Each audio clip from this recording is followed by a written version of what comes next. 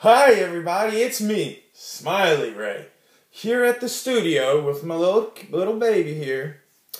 And today I'm wondering what it would be like to be Kim Kardashian and Kanye West's nanny. And I'm pretending this is Little Northwest.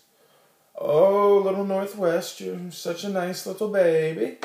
And this video is brought to you by Ritz Crackers because, well, it'd make another good baby name. Baby Northwest, Baby Ritz. And since I figured out, you know, Northwest is such a nice name, you can call me the Southeast Smiley. Because, well, you probably feel bad about your name.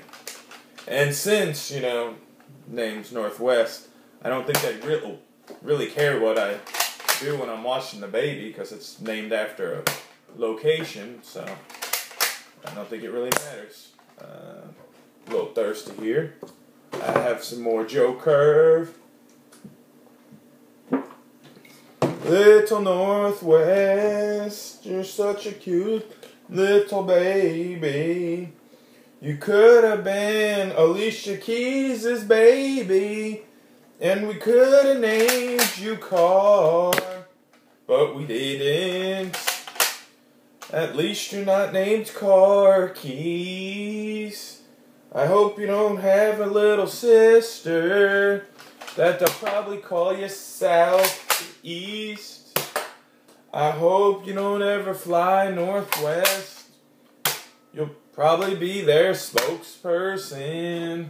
I really don't think it matters much of the song. Oh, you could have been named Six. I mean, Northwest, Sixth West. It's not too bad.